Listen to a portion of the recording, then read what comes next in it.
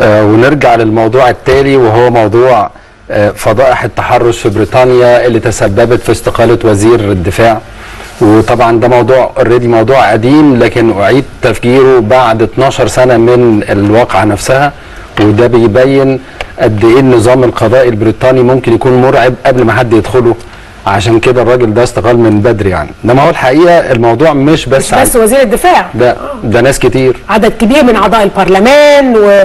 و... والحقيقة النهارده حد كمان من وزراء اسكتلندا برضو نفس الحكاية قدم استقالة. واضح إن إيه في فيروس. في شوطه جاية جامدة قوي في الموضوع. وهو ال- القصة بدأت أنا في ظني إن القصة بدأت من ترامب. وليه علاقة بترامب من ساعة ال- التسريب اللي جاله قبل انتخاباته بحوالي أسبوع اللي بينوا فيه كلام آه، خارج عن ال- الذي سيكون رئيس لأمريكا وكيف تمادى إلى آه، كلام آه، فاحش يعني بكل ال- السبل فأنا ظني إنه هذا اللي بدأ الترند بتاع موضوع آه، فضح التحرش. وصل في الآخر إلى استقالة في بريطانيا واستقالات عديدة من ممكن يحصل المسؤولين عندنا؟ نبص بقى عندنا هل ده ممكن يحصل ولا لأ أنا ظني إنه لا يمكن حد عندنا يطلع يقول إنه هو كان متحرش بحد ويقوم ولا واحدة- ولا واحدة. ويقدم استقالة أو كلام من إنما بس عايز أقول حاجة في فرق بين المسؤول وبين الفنانين مثلا لكن لو واحد مسؤول في مصر لن يجرؤ لو واحدة كمان اتهمته هيبقى يعني أظن إن هو هيحاول يرمي نفسه في البحر أكرم له أو أشرف له يعني لأنه مش هيتساب لا من اللي فوقه ولا من الرأي العام. ده في رأيي يعني. إنما قضاء وقانونا وكده لا مش هيو... ما حدش هيوصل معاه لحاجة. لأنه من الصعب جدا إثبات هذا الموضوع. إنما آه، لو خدناه على إنه حد بقى واحدة هتطلع وتقول لا بيطلعوا بيقولوا دلوقتي وبكل جراءة وبكل قوة وعندنا؟ قضايا مين ده؟ فين ده؟ آه، مين ده؟ حضرتك آه غالباً وعندنا قضايا اي حد. وعندنا قضايا. وعندنا قضايا يعني قضايا كتير بت- قضايا تحرش كتير وفي الفترة الأخيرة عددها زاد جدا جدا بس ما بتطلعش ضد مسؤولين بتطلع ضد ناس آه، أكاديميين مثلا على سبيل المثال عموما ده راي معتبر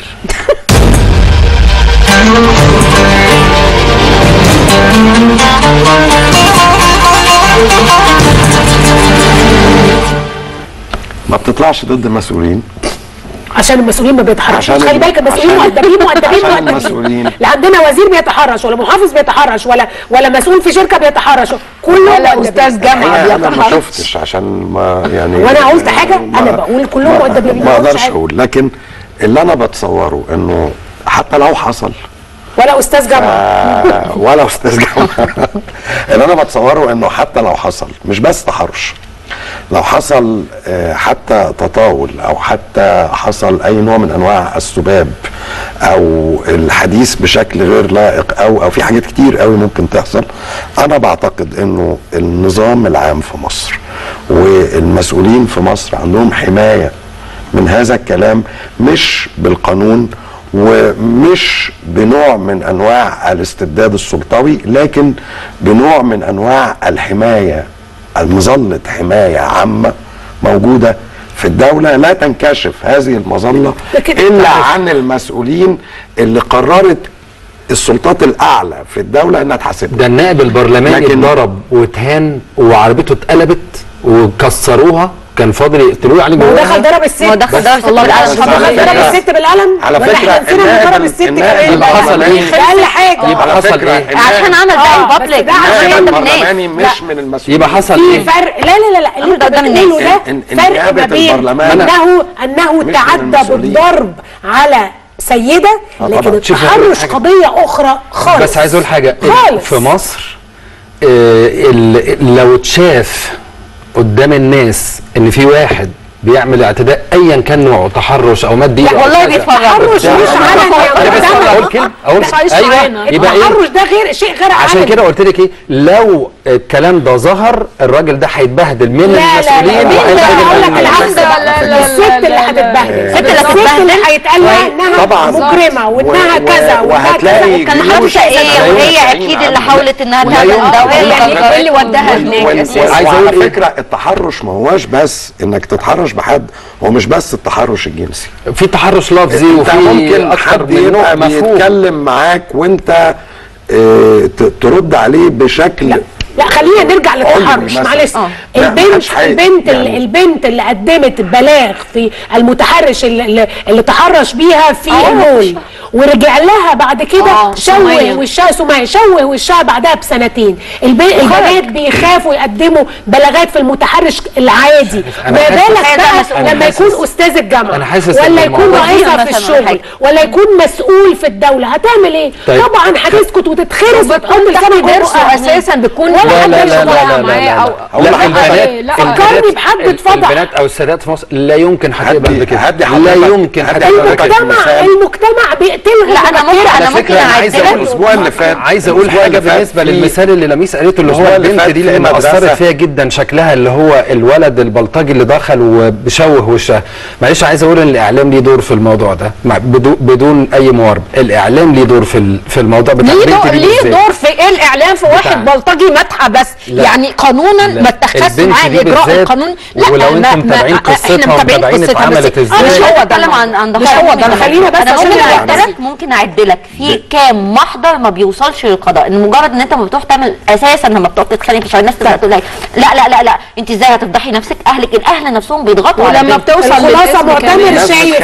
معتمر شايف إن هو طبعا لو ده حصل لازم ال- ال- المسؤول في مصر هيستقيل إحنا بنقول لك لا لا هو مش مش هيستقيل هو هيتبهدل. ولا هيستقيل هيتبهدل. ولا هي اللي هتتبهدل. هو هيتبهدل. وهيترمي بره. والشعب المجني. هيديله بالجزم ولا المجني عليه آسف هيفضل يعني. بقول لك إيه؟ البنت اللي هتتفضح وهو هيتدارى عليه ولا هيحصل. خلونا بس نذهب إلى قضية أخرى ودي ما يعني آه أنا عارفة إن عندي 14 مليون حد ممكن يذبحوني فيها ولكن ما حدش مع مصادره حرية الفن والتعبير على الإطلاق. لكن كمان لازم الأشخاص القائمين على الإبداع سواء في كتابة الكلمات أو الأغاني أو إنتاج الأغنيات خاصة الجديدة لازم يكون عندهم حد أدنى من مش عايزة أقول الذوق ولكن المسؤولية الاجتماعية. الأغاني مش مجرد كلمات على ألحان بترقص وننبسط بيها لكن جزء من ذاكرتنا وضميرنا ومفرداتنا اللي بتكون وعي الناس. مؤخرا فريق أوكا أوكا وأورتيجا اللي أنا يعني مش من المعجبين قوي باغنياتهم ولكن موجودين لهم يعني بابليستي عالية قوي لهم شعبية عالية جدا مش دعوه ان هم اتحبسوا في قضيه ده موضوع يخصهم لكن الشعبية عندهم شعبية عظيمة يعني. هم حرهم حرين. آه، أصدروا أغنية اسمها إلعب يلا. إلعب يلا تبدو لأول وهلة أغنية هادفة. بتقول للشاب خلي بالك ما تشربش مخدرات خلي بالك آه ما تعملش أخطاء خلي بالك آه يعني بتقول له قاعد لوحدك كده سرحان الشيطان يوزك في سكة شمال يفضل يقول لك العب يلا آه العب يلا عايز تكون صاحب مبدأ وتقول أنا هبدأ يعني فكرة الدراجز لكن الحقيقة إن الغنوة ظاهرها آه آه رحمة وباطنها أيوة. صعب ليه بقى؟ لأن الغنوة التون الواطي بتاعها بيتكلم عن الأهداف والكلام الهادف اللي هو خلي بالك من المخدرات. اسمع بقى التون العالي. العب يلا اشرب يلا. وهو ده الصوت وهو ده الكوبليه اللي مكسر الدنيا. هو ده اللي إيه اللي. هيفضل في ودن الناس؟ الكلام إن المخدرات شر ولا العب يلا؟ ده رأيي. الأغنية بتكمل بقى العب يلا اشرب أم، واستخدمتها إحدى الشركات أيضا. في ال- في الإعلان. وأنا برضو ده مزعج جدا بالنسبة لي. الذوق العام الوصول للشباب أنا بالنسبة لي دي أغنية مزعجة جدا.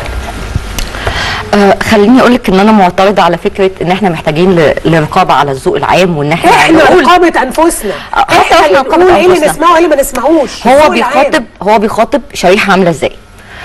اولا الأغاني دي بتعدي على المصنفات وبتاخد إجازة عشان تبدأ تتعرض. ما هو الكلام حلو اصله قبل كده غير الكلام حلو. قبل كده كان كان في أغاني كتير. يعني لا تجاز كان أيام الشرايط الكاسيت بقى قبل ما يبقى في إنترنت والكلام ده. كان الحاجات دي بتتباع على رصيف عادي جدا الناس بتسمعها. يعني عمر ما كانت فكرة الذوق العام يعني اللي بيسمعوا النخبة غير اللي بيسمعوا الطبقة الشعبية.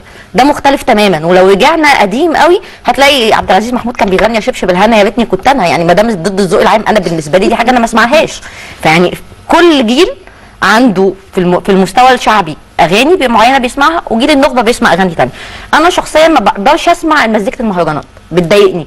بس الأغنية دي مثلا يعني إيمان بنت أختي يعني أنا مضطر إن أنا أفضحها على الهواء لأن هي اللي سمعتني الأغنية دي أول مرة. قالت لي الأغنية فيها رسالة. قلت لها فيها رسالة إزاي يعني؟ اسمعي بس يا خالته وبتاع هتلاقي أيوة، مواعظ ورسالة الرسالة إيه واصلة. لمين؟ الرسالة الكلام محدش بيسمع التون اللي الواطي بيسمع إن النوع ده من المزيكا. في كثير من مش عايزة أقول الشر ولكن الذكاء. والله لأن يا هو. وطى الجزء التوناليتي. والله حتى لو ما لعب وطوش. ولعب بالكلام الواطي فمين فاكر الغنوه إيه؟ العب يلا اشرب يلا. اللي بيسمع النوع ده من المزيكا المهيبرة بيبقى مهيبر. يعني طبيعي هو بيبقى في مود يعني هو بيبقى في مود. بيساعده انه يسمع. الأغاني دي.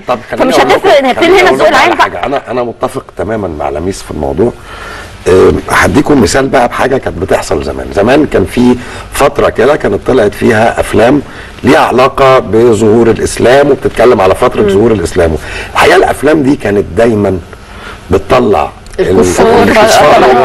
قاعدين قدامهم. طبق فاكهة كبير قوي وحياه جميلة جدا. وبتطلع الناس اللي دخلت الإسلام في منتهى البؤس. هي نفس الفكرة. الأغنية عملت التون الضعيف للكلام ان هو مفروض فيه النصيحه الموعظه واديتك التون العالي المفرح المبهج. بس في التون. مع- لا لا أنا وقتي وقتي بيخلص 30 ثانية رايكم طيب 30 لا. أنا أنا شايفة إن أنتوا متج... أنت وهو متجنين على الأغنية. الأغنية زي ما قالت أميرة بتخاطب شريحة كبيرة جدا من الشباب فبتقول له. العب آه، اشرب و- اضرب و- وده المستوى اللي هم. بيتوجهوا له اوجا وأورتيجا. تماماً. و... واحد. عشان كده وعلى عملت فكرة 17 على مليون. فكرة ضد المستوى. ده زي زي أفلام محمد رمضان بتاعت عبده موته وغيره. بتتكلموا كنت ده. ضد أفلام محمد رمضان بتاعت فكرة عبد ال- الله ال- لا وبعدين معلش الأغنية فيها هبوط قوي وواضح جدا لأي حد منصف؟ يعني. بس أقول كمان حاجة كلمة يلا يلا دي كلمة لا عادية الفكرة في ده كمان. صوت الشيطان اللي بيكلمك في الأغنية بقى صوت الشيطان اللي بيكلمك يقول لك العب يلا وأنت بترقص معاه. آه، اضرب يلا وأنت بتضرب معاه. ده الشيطان. صاحب الشيطان. يعني. طيب أنا وقتي خلص للأسف. آه، آه، بشكركم والماتش لسه مكمل. آه، صفر صفر. نتمنى الفوز للنادي الأهلي. أترككم بقى مع المباراة وأترككم مع أبلة فهيده أشكركم ونتقابل بكرة وهذه لميس الحديد عليكم تصبحوا على خير.